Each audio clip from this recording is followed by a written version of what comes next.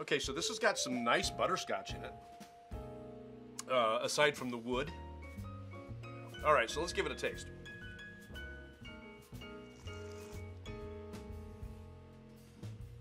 Wow. That's really good.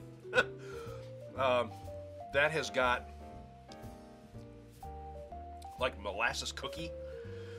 Um, that oak is in there real nice, but and it's got some really nice, really sweet notes. My golly, that's really good. I'm getting some orange on there in the finish.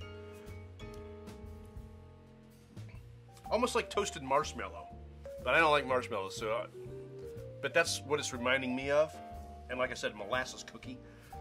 Um, boy, that's delicious.